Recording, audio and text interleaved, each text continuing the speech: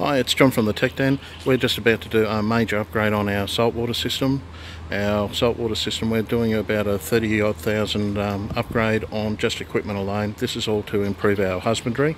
So part of the upgrade, we've got eight systems. They're going to be broken into four, two lots of four systems. One lot of four will be dedicated to imports. One will be dedicated for our locally caught fish like our Cairns Marine.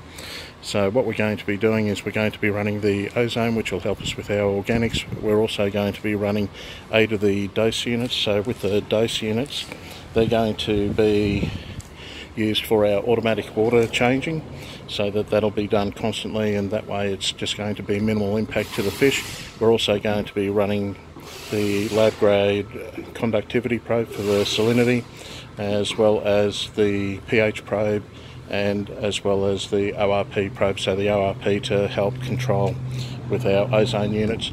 We're also going to be looking at um, changing over all of our sterilisers.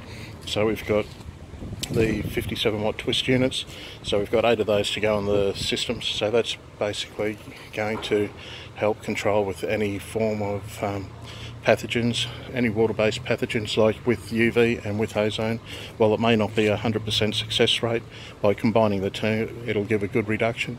And by combining the ozone as well as the sterilizer will help us in the way of having advanced oxidization which will hopefully help us by creating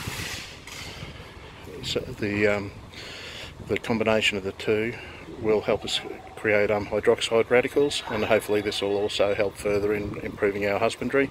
Uh, the, we've also got the connection of six EB6 units, uh, so they're six-way power boards.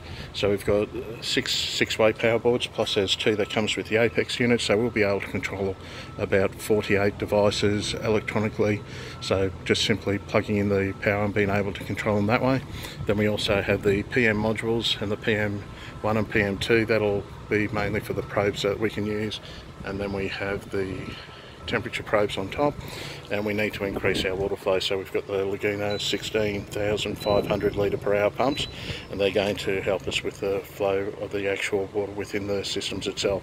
So all this is a rather ex expensive thing for us to do but we find that it's important because what we want to do we want to improve our husbandry by improving the husbandry it's going to mean that you're going to get better healthier stronger fish and what we're putting into it is so that it makes it that we do our best on our end for making sure that the fish are the best possible fish that we can provide.